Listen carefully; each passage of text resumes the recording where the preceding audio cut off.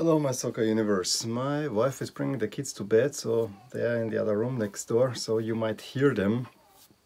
Hope it won't bother you too much and I am using this time to actually um, show you some more of my scarves. I'm wearing Argentina which has nothing to do with any of the scarves that I'm showing you today because we're looking all at half-half scarves, special event scarves and since the Bundesliga is starting and I have just a few German scarves to make it like a nice package. Um, the German scarves there as well. As I said, Argentina has nothing to do with it except that uh, it's from the World Cup 2006, but nothing of that is in there as well. Um, but I decided now to post, and if you're a member of my Facebook group or my Twitter account, the back of the video, there are the links. Um, I post every day the shirt that I'm wearing for most of the time. I might sometimes change it for the video if I need one that fits the theme, but today I decided not to. Let's look at those half-half scarves, which are sometimes match scarves. There's also friendship scarves that we'll see, but the first one, the first one that I ever had, is the following match scarf between Austria and Sweden. Österreich, Sweden. This was the World Cup qualifying game for the 98 World Cup on the 6th of September 97 which Austria won. It was a kind of a crucial game. It was a great tense game and a wonderful goal where I was sitting right at the line where this wonderful goal by Andy Herzog was scored. Uh, look at the highlights on YouTube. If I find them, uh, you will have them up here. Uh, the scarf is a little bit weird. I mean, it's relatively, relatively cheap, uh, you know, night stuff. You have here the Austrian Eagle, which actually is quite good. It says Österreich and then Weltmeisterschaftsqualifikation, which means World Cup qualifier. Weltmeisterschaft is such a typically German word.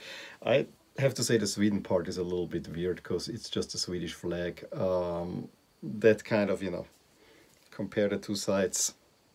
Not too crazy about the differences here. But yeah, I have a Sweden scarf if I want, and I think I've seen Sweden quite, quite often. Austria-Sweden is, I think, a match that I saw at least three times already. So there you go. My first time I was in Vienna to watch a game was also Austria-Sweden. This was for the 94 World Cup qualifier. So yeah. So that's the first one. The second one is now a German scarf and I really go chronologically. Um, living in Austria, especially in Linz, the closest place that you can watch top soccer uh, is the German Bundesliga and Munich is, you know, it's a three hour drive from here. Um, and, you know, Bayern games have been in there, but actually the team that we always liked better was 1860. I have to say 1860 Munich is probably still my favorite German team. Maybe that's why the colors here are fitting. So yeah, 1860 Munich. Uh, and the first time we saw them, I think was in 99 when they were playing Gladbach and they had not only a, a bunch of Austrian players like Cerny and I'm not sure if uh, Weissenberger was not, not playing, but I know Cerny was uh, playing for them in Stranzl. And for Gladbach, we had Toni Polster playing the one season that, you know, he's a Köln icon and then he moves to Gladbach, which is something that I still not understand to this day. And then he got relegated because he didn't want to stay with Köln because they got relegated in 98. He moves to Gladbach and then he gets relegated again. So was his fault in a way. So, uh, 1860 Munich is this scarf here, and I think it's a quite nice one. Uh, it has actually a little bit half-half theme in there as well, although it's just a club scarf says the club's name. I find it funny that it says here Olympiastadion and I bought this scarf right at that game. In 99 the logo with the lion is quite nice and yeah I think it's a decent German scarf. Note it does not have a German flag and the really nice feature here is there is a really nice pattern at the end of the scarf on both sides and I think in both sides it's light blue so that I actually like a lot. Speaking of 1860, I think a few years later, I want to say two years later, but I'm not 100%, we again went to the Olympiastadion because they, we said we want to see them play against a really good side and the one side that we want to see was Dortmund. And believe it or not, Dortmund and 1860 Munich have a fan friendship and so we have this half-half scarf. Super fans, we have one side Dortmund äh, gemeinsam sind, what does say, Gemeinsam sind wir stark, together we are strong, and then we have the 1860 side. The more interesting part is that both sides are different. So uh, we had this side here where we have the Dortmund logo here, and you know, you see how it goes. And then the other side, I actually have to say I like this one better. I don't like this with the super fans, uh, to be honest. We have one, again, it says gemeinsam, uh, gemeinsam fair play, it says on there. So here we have here, here's the 1860 side, very Bavarian. And there's the lion, of course, which is the club symbol. And then for the Dortmund side, um, Borussia Dortmund. I think it's pretty, pretty nice to have this. It's an old scarf, it says. Uh, 95 I don't know what this is but yeah I said we I saw this at the game and then it was clear yeah we gotta get this I have to get this scarf I have another match scarf here uh, between club teams and then we're slow no not yet. Uh, between club teams and this was a preseason friendly the 95 year anniversary of LASK. And who did we play? Ah, it's Roma. In the stadium in Linz and this was the last last game that I saw before we went before I moved to America so this has a, a certain value for me as well. I'm not I don't like that the LASK logo is kind of half-assed because the part with the flag is missing. The Roma logo is actually quite good.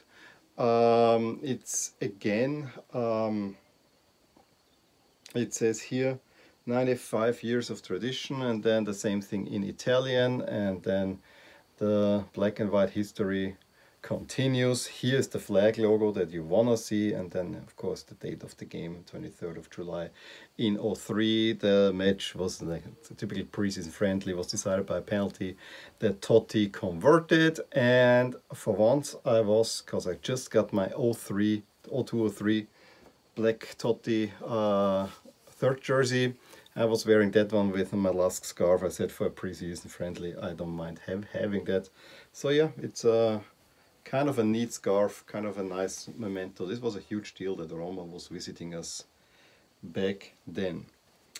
Okay, another German scarf. This one I got uh, during the 2006 World Cup, so another connection with this. We had tickets for Spain and uh, watched Spain played Tunisia, so all the group games for Spain, we saw Spain, Tunisia was played in Stuttgart, and I knew I'm a Stuttgart fan, and while walking through the city, you know, when, when, when there, you always looked at the downtown, downtown, checked out the towns and so on, and I was actually hoping that we find a Stuttgart fan shop, and we did, and I got this relatively timid scarf, I mean, it's red and white, the club's colors, the only thing that really makes it a Stuttgart uh, scarf is that there's the VfB logo on there. I know Stuttgart is probably the other team that I like next to uh, 1860, where I really should get a jersey, I have to say. I always, there's something about this logo that I always liked, even although this lettering is very old German lettering, there's something really nice about it. The scarf, almost, you can almost wear this anywhere. Uh, it doesn't even have it on the other side, so it's very, this is almost uh, one that you can go out like that and no one will know this is a soccer scarf. Maybe they will and so on. And then we had the last couple of scarves already. Uh, the next tournament, Euro 2008.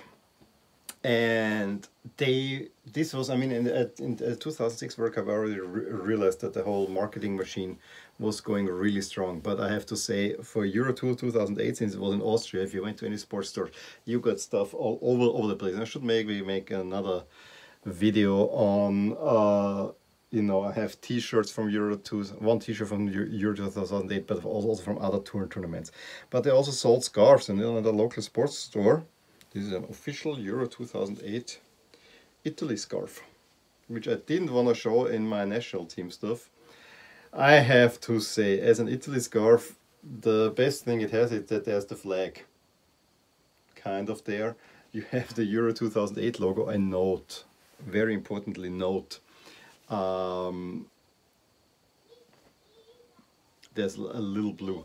What what what what what what did I want to say? Yeah, it's yeah. I mean, it tries to do the branding. It is just um, it's not my favorite scarf, but when I got it, I thought it's pretty cool. Yeah, what I want to say, note Italy were world champions at that time, so Italy products were kind of very popular. So yeah, I'm not sure how nicely this Italia is written as I said, it's not my absolute favorite scarf, but hey, so what? I was wearing this scarf together with my Gattuso jersey in the quarterfinal, Spain against Italy. And of course there, I mean the tickets we got this, I think I never paid more for a soccer match with potentially Barcelona Leeds United in the Champions League in 2099 was was it 99 2000 no it was was was was in 2000 2000 2001 is when Leeds was good. Don't nail me down on that one now. I think it was 2000 2001 something like that. Anyway um, we got tickets for that match. It was not a great match but I have the match scarf which was another I think 10, 10 years. So we have Italy Spain and you have of course UEFA Euro 2008 Vienna the 22nd of June. I think quarter-final they all pretty uh, actually this scarf looks a little bit nicer I have to say than the other one because it's really it has just the uh, country's flags and so on. So it's um, unique piece in a way uh, cohesive. This one doesn't look very cohesive to me. There's a little bit too much color. They, they, they can kind of decide what they want and the logo is way too big. Um, so we don't have the Euro 2008 logo, which is nice. We have it here on the official tag. Well, yeah. As I said, the game was not all great and the penalty shootout, I think the most memorable scene to me despite a small Buffon blunder where he lost the ball and went onto the post was uh, I think Di Natale came, came on late in overtime. Uh, got checked was lying on the ground saw it is outside and then rolled inside to cause the game to be stopped. Italian gamesmanship you gotta love it. Anyway let me know what you think about those scarves, which ones you like. I mean, this is a very contentious category, except for the German part. Uh, I think the best scarf in there that I showed is definitely the 1860 scarf. Uh, the rest is kind of so and so, no, nothing great, but you know, I have them, so yeah. Anyway, let me know if you have any have have scarves or anything that fits in this cat category for special events. Give me a thumbs up if you enjoyed this video. Subscribe to my channel if you want to see more videos like these, and I will talk to you soon. Bye. Hey there, I really hope you enjoyed this video and if you did, here are some videos and playlists that you might enjoy too. Also, please consider subscribing to my channel as it will keep you updated on all the things that are rotating in my soccer universe. And with that, to wish you a wonderful day. Bye!